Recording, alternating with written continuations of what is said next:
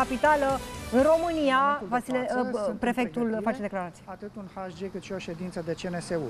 În funcție de deciziile de acolo și noi vom lua, vom aplica măsurile care vor fi decise acolo.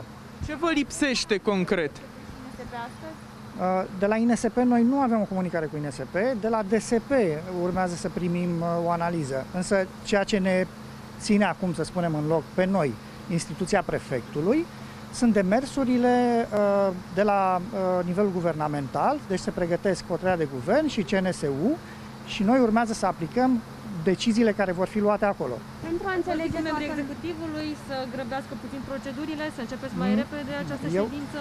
Eu sunt la dispoziția executivului, nu am căderea să cer executivului Dar să facă referitor- lucruri, dar lucrurile se Analizei mișcă. DSP, ca să vină mai repede, ați discutat cu cei de la DSP? De ce Am durează trimis, atât de astăzi, mult? am trimis astăzi solicitarea ca DSP-ul să ne transmită informațiile pe care le-am solicitat încă de alaltă ieri.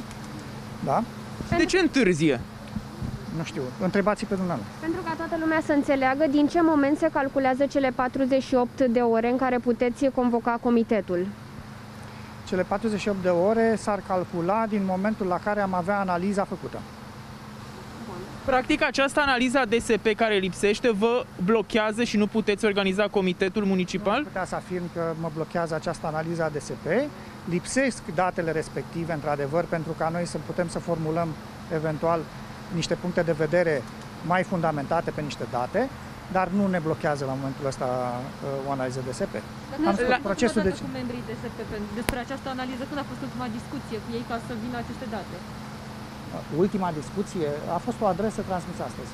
La nivelul sectorului 5, domnule primar, tocmai s-au luat primele restricții. Primarul de acolo a decis să închidă molurile la ora 9 și supermarketuri, hipermarketuri, servisuri auto mai repede în timpul săptămânii, iar în weekend să le închidă la ora 15. Vedem așadar măsuri la nivelul unor sectoare din capitală.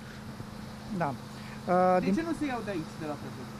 Din punct de vedere decizional, astfel de lucruri ar trebui luate, se pot lua, să spunem, în Comitetul Local pentru Situații de Urgență, dar nu am văzut o astfel de uh, decizie, ci am văzut o decizie a primarului um, și urmează să verificăm uh, legalitatea ei. Dar pe lângă lucrul ăsta, uh, cred că poate să inducă confuzie faptul că urmează să fie luate niște măsuri la nivel guvernamental pe care noi le vom aplica în mod unitar pe București sau poate ideal ar fi pe o arie mai extinsă, București plus o parte din Ilfov și astfel de demersuri nu fac altceva decât să creeze un pic de confuzie, dar uh, vom lucra pentru informarea oamenilor în așa fel încât să nu, se, să nu ajungem acolo. Dar, dar legal, primăria sectorului 5, primarul sectorului 5 poate schimba programul, poate uh, schimba mm, acest program al funcționării unor uh, mall-uri, supermarketuri?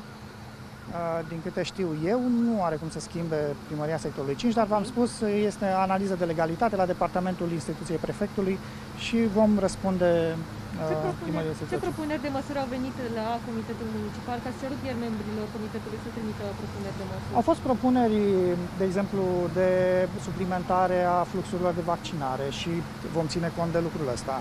Au fost propuneri pentru uh, mijloace de transport în comun făcute de STB în așa fel încât să existe niște fluxuri și, niște moni- și monitorizarea uh, numărului de pasageri care sunt în, a- într-un anumit moment într-un autobuz și ținem cont și de lucrul ăsta. Avem o discuție cu STB-ul să vedem cum putem să-i ajutăm să le implementeze. Uh, Sunt uh, genul acesta de, de măsuri au fost propuse. Direcția de Sănătate Publică București spune că a trimis ieri analiza de risc. Concret, ce mai așteptați de la ei? Ca să înțelegem mai bine, ce lipsește de la DSP București?